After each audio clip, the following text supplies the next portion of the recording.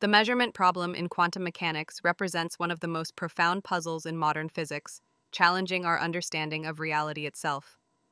Before measurement, quantum particles exist in superpositions, occupying multiple states simultaneously, behaving as waves of probability rather than definite objects.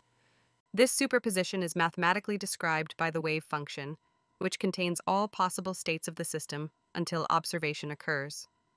The measurement problem arises when we observe the system. Mysteriously, the wave function collapses, and the particle assumes just one definite state from all possibilities.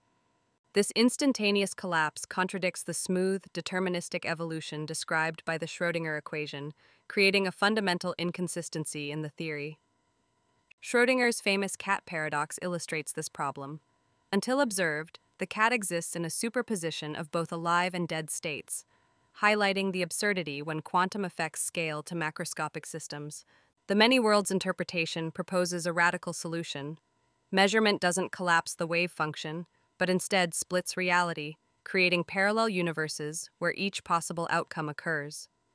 An alternative explanation, quantum decoherence, suggests that entanglement with the environment effectively produces the appearance of collapse without requiring actual wave function reduction.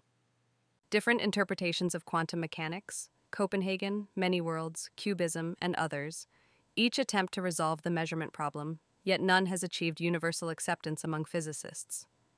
After nearly a century of debate, the measurement problem remains unsolved, standing at the boundary between quantum weirdness and our classical intuition about how reality should behave.